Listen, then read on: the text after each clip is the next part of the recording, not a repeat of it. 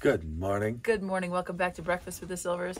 Today's gonna come out a little bit tardy because we have been up very late last night. So we're we're trying to pull ourselves together here. All right, today is part 5 and the last part of Paul's conversion and baptism. Hmm. From Acts 9:18, he received his sight at once and he arose and was baptized. Mm-hmm. That's been our theme, people. That's been our theme. All right, Acts 16 and 16 through 34. And it came to pass as we went to prayer, a certain damsel possessed with a spirit divination met us, which brought her masters much gain by soothsaying. The same followed Paul and us and cried, saying, These men are the servants of the Most High God, which show unto us the way of salvation. And this did she many days, but Paul, being grieved, turned and said to the Spirit, I command thee in the name of Jesus Christ to come out of her. And he came out the same hour.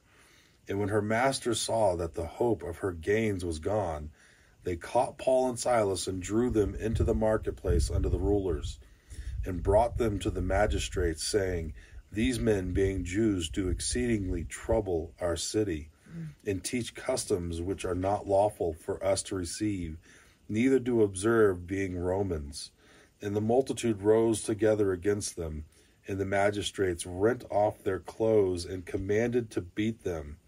And when they had laid many stripes upon them, they were very dramatic, and cast them into prisons, charging the jailer to keep them safely, who, having received much, such a charge, thrust them into the inner prison, and made their feet fast in the stocks.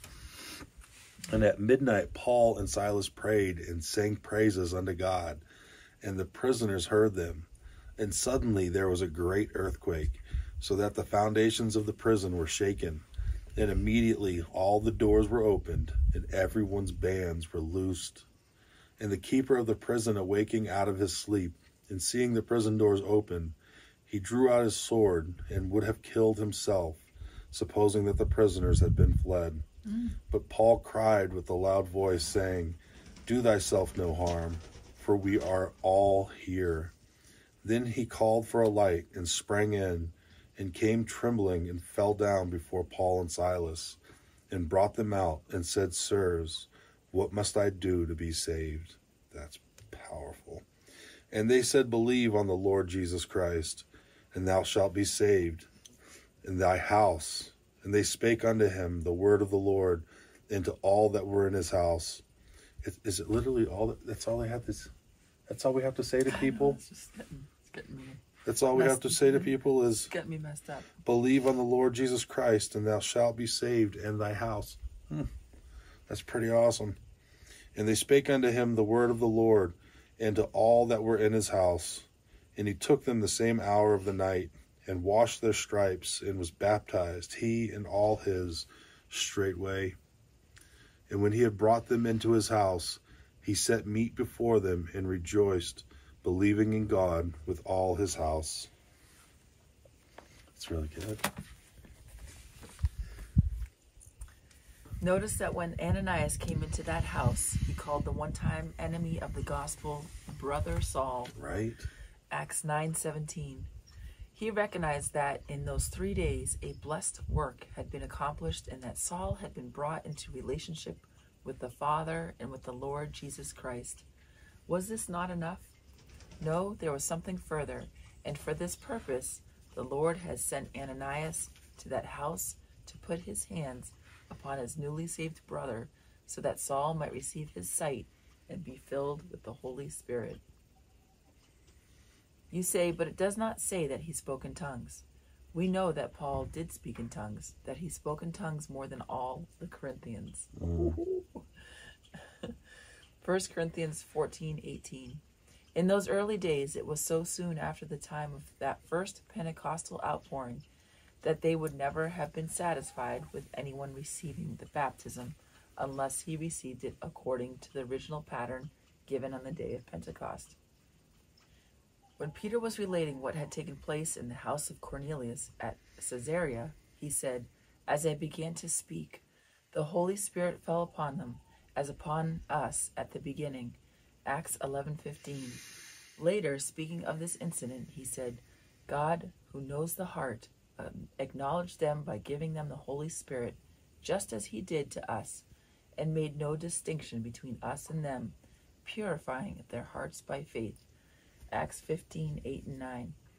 We know from the account of what took place at Cornelius's household that when the Holy Spirit fell, they heard them speak with tongues and magnify God. Acts 10:46.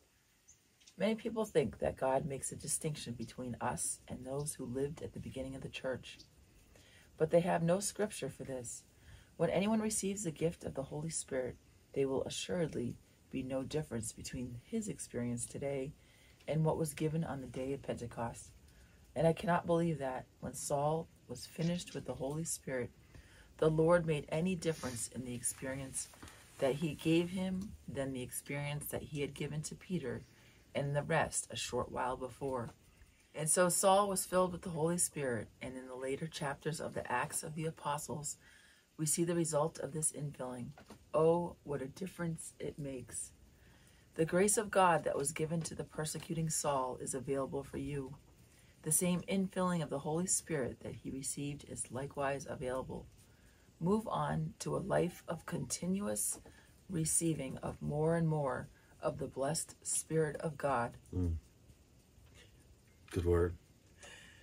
Thought for today do not rest satisfied with any lesser experience than the baptism that the disciples received on the day of Pentecost. We are so blessed we are. to have these understandings from a spirit filled man We are. that feeds us greater understanding of the word. Holy Spirit, thank you, Father. Amen. See you See tomorrow. tomorrow.